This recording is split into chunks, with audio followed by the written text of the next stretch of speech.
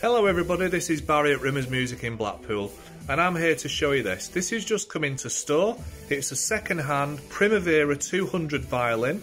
It's full-sized outfit and it includes the bow, it includes the case straps and the case. The instrument itself is really nice. It's made from a maple and spruce body. We have an ebony chin rest and we also have carbon composite tailpiece. The instrument also benefits from fine tuners, which you can see there, which makes it easy to tune. The strings are in reasonable condition and it has been tuned, so it is ready to go. If you have a look at the top, we have ebony tuners. And if we just move over to the bow, you will notice that there are a few strands missing on the bow, but that is to be expected. It does happen, and this is a second-hand instrument. Overall, it's a really, really nice violin which retails at roughly £200.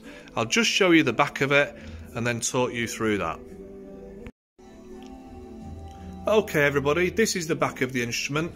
As you can see, the back of the headstock is in really nice condition, as is the back of the neck.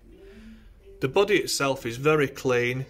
You may say that there are some odd marks, but they're very, very, very slight. Can you see? Other than that, this is a really, really nice violin and absolutely ideal if you're just starting out and you just wanted something that little bit better. So here we have it folks, second hand Primavera 200 violin, full size available at Rimmers Music in Blackpool.